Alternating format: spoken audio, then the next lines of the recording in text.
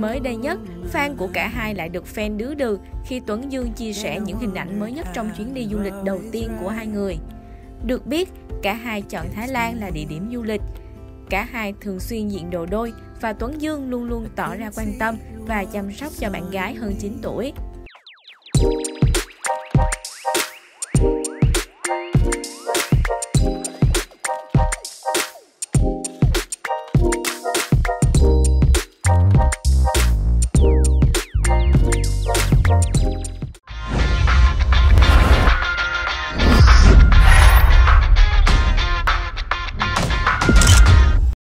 Chào mừng các bạn đã đến với bản tin showbiz trên kênh ống kính hậu trường.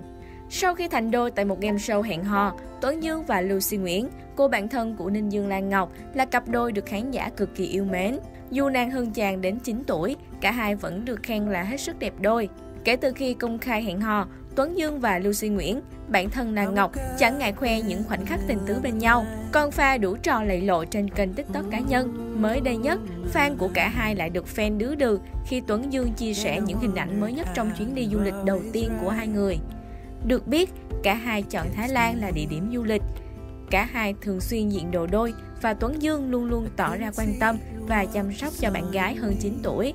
Trong mọi khoảnh khắc ghi lại, Tuấn Dương luôn muốn có hình ảnh bạn gái lọt vào khung hình, cho dù bạn gái đang đi bộ từ phía xa hay đang bận check-in một địa điểm nào đó. Sự ngọt ngào của cặp đôi khiến fan có quyền hy vọng vào một cái kết viên mãn hơn. Trong đoạn clip viral trên mạng xã hội mới đây, người hâm mộ thích thú hơn khi chứng kiến Lucy Nguyễn trao nhẫn cho Tuấn Dương, nghi ngờ tính đến chuyện kết hôn sau khi chỉ vừa công khai hẹn hò. Trong chương trình, Lucy Nguyễn đã từng đặt vấn đề đến tuổi kết hôn với Tuấn Dương, nhưng anh chàng vẫn chưa đưa ra câu trả lời rõ ràng. Sự ngập ngừng, ấp úng của anh chàng có thể dễ hiểu khi anh chàng đang đứng trước một cô gái tài sắc vẹn toàn như Lucy Nguyễn. Bỏ qua hết rào cản trong chuyện tình yêu của Lucy Nguyễn và Tuấn Dương, netizen vẫn nhận thấy sự xứng đôi vừa lứa khi hai người đứng cạnh nhau. Diện đồ đôi hay cùng nhau xuất hiện tại các bữa tiệc sự công khai và thoải mái xuất hiện trước công chúng của cặp đôi cũng đã nói lên được điều đó. Hơn thế nữa, Lucy Nguyễn không ngại ngần dẫn dắt Tuấn Dương đến các buổi tiệc sinh nhật và gặp mặt bạn bè riêng của cô. Chuyện tình cảm chị ơi anh yêu em không phải là chuyện xưa nay hiếm, bởi thực tế, làng giải trí Việt đã chứng kiến rất nhiều những câu chuyện tình đẹp của các cặp đôi đủ lệch. Không nói đâu xa, ngay thời điểm hiện tại, showbiz Việt cũng đang nôn nao trước đám cưới đang được chuẩn bị rầm rộ của cặp đôi Chị ơi, anh yêu em, cách nhau tận 11 tuổi. Đó là đám cưới của đại nữ Ngô Thanh Vân và chàng Việt Kiều Huy Trần. Bởi vậy mới nói, netizen luôn có lý do để trông chờ vào một happy ending của cặp đôi Tuấn Dương và Lucy Nguyễn. Lucy Nguyễn từng được biết đến là nhiếp ảnh gia có tiếng trước khi chuyển hướng sang lĩnh vực kinh doanh thời trang. Ngoài ra, mỹ nhân tài năng này còn có mối quan hệ thân thiết với nhiều mỹ nhân showbiz Việt, trong đó có Linh Dương Lan Ngọc. Đáng chú ý, đây không phải là lần đầu tiên Lucy Nguyễn đến với một chương trình hẹn hò. Cô từng ngồi ghế nữ chính của chương trình Người ấy là ai mùa đầu tiên nhưng phải một mình ra về vì chọn nhầm chàng trai màu đỏ của chương trình. Chia sẻ về quyết định tỏ tình Lucy, Tuấn Dương cho biết anh chàng từng crush chị đẹp và đã tâm sự rất nhiều với bản thân Otis. Tuy nhiên, do người trong mộng quá xinh đẹp, tài giỏi và tự tin nên anh không tránh khỏi cảm giác tự ti, chỉ ôm tình cảm đơn phương trong lòng. Sự xuất hiện của Lucy tại chương trình chính là do Otis ngỏ lời mời để tạo cho bản thân có cơ hội nói lên tình cảm của mình. Tuấn Dương cũng thừa nhận nếu không có sự sắp xếp này, anh chàng vẫn sẽ cất giấu tình cảm với Lucy, dù anh đã từng khuyên rất nhiều người hâm mộ phải mạnh dạn tỏ tình với người mình thích. Lucy Nguyễn không phủ nhận rằng giữa cô và Tuấn Dương có nhiều khác biệt, từ tuổi tác, sự nghiệp tới suy nghĩ. Nữ chính lo rằng liệu đây có phải là cảm xúc nhất thời của Tuấn Dương hay không? Sự nhút nhát của Tuấn Dương trong cách thuyết phục nữ chính khiến MC Liêu Hà Trinh không thể ngồi yên, đang chỉ phải lên tiếng động viên cậu em trai quyết liệt hơn trong tình cảm với nữ chính. Sau những lời động viên cũng như sự trợ giúp của các đồng đội, Tuấn Dương chính thức bày tỏ hết tình cảm và mong muốn được ở bên chăm sóc cho Lucy. Trước sự chân thành của Tuấn Dương, Lucy thừa nhận từng rung động sau nụ hôn trộn ngày nào, nhưng sự trốn tránh của anh chàng đã khiến cô rất buồn. Tuy nhiên, Lucy vẫn chấp nhận cho Tuấn Dương một cơ hội để cả hai tìm hiểu và hẹn hò.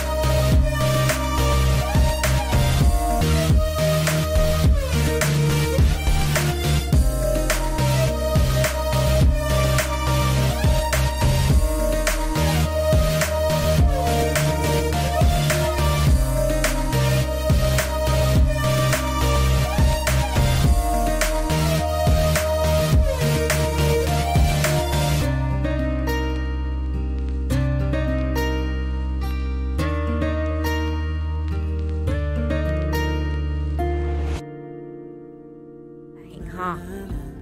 Bạn thấy sao về cặp đôi chị em hơn nhau 9 tuổi Lucy Nguyễn và Tuấn Dương? Hãy comment bên dưới cho chúng mình biết nhé. Cảm ơn các bạn đã theo dõi điểm tin trên kênh ống kính hậu trương. Đừng quên nhấn like, share và đăng ký theo dõi kênh để cùng cập nhật những tin tức mới nhất nhé. Xin chào và hẹn gặp lại.